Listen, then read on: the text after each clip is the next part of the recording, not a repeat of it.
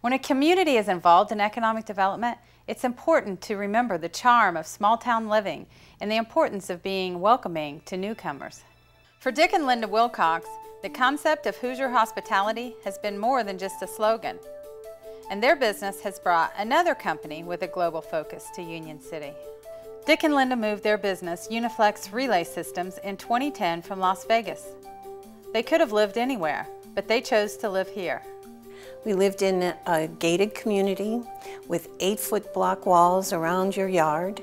You didn't get to know your neighbors. You seldom even made eye contact with your neighbors.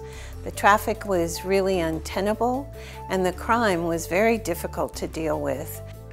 Dick has a unique skill set. He knows computers, he designs software and hardware, and he's a musician. We just needed a lot of space for Dick to test his ongoing improvements to the computerized organ relay system, and we needed a good post office. We ship to customers all over the United States, Canada, Australia, New Zealand, the Netherlands, and the UK. Dick was educated about computers by Honeywell in Boston after working on Cape Canaveral projects in the mid-1960s. He was also playing guitar in several rock and roll bands. He developed a way to combine his interest in computers and music when he founded Uniflex Relay Systems in 1979. Linda found this house listed for sale on the internet, and once they visited in person, Dick and Linda made the decision to relocate with their four dogs. There's some really beautiful homes in Union City. This one was built in 1927 and has some wonderful architectural features. They also needed a test facility with enough floor space to support Dick's various pipe organs. They thought about building an addition to their property, but found that it was more economical to buy an existing structure, the old fire station. They call it Firehouse Pipes. Dick has changed the traditional method of installing relays and playing in theater and church pipe organs using a PC system.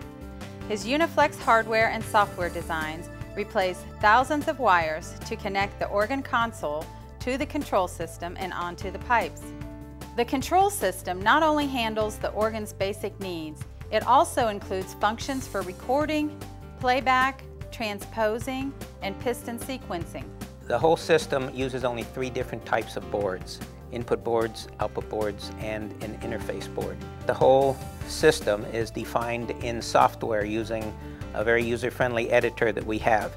I am continually making upgrades and updates, adding new features to the software. And if you have one of our systems, all the new software is always free for as long as the product is around. And we are uniquely flexible.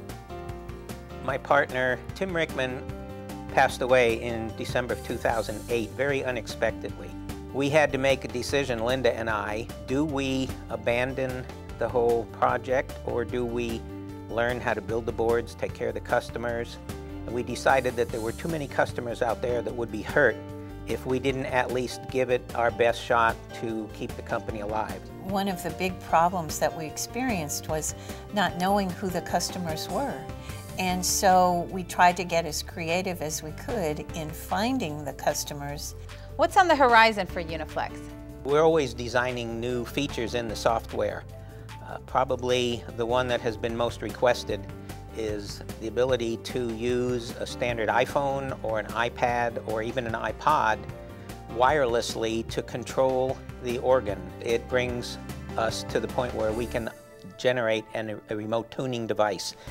Typically it takes two people to tune a pipe organ. What I have done is create an application that will allow them to take, with just one person, could go into the chambers, select the pipes to be played on his iPhone wirelessly, and those pipes will play until he needs to move on to the next one and so forth. In the meantime, Dick and Linda are enjoying life in Union City. A former court administrator in Las Vegas, Linda recently was elected city judge.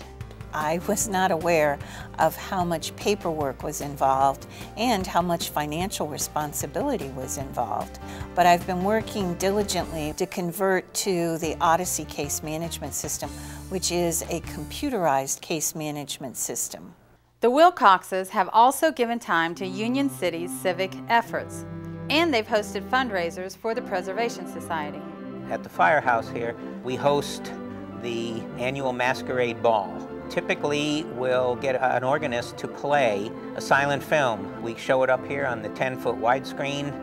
Everybody has a good time. We have made more friends here in Union City than we could have ever imagined. Union City has been very, very good to us and very welcoming. Union City gained much more than another business. Dick and Linda brought civic leadership to this community. For Extraordinary Indiana, I'm Laura Sheets.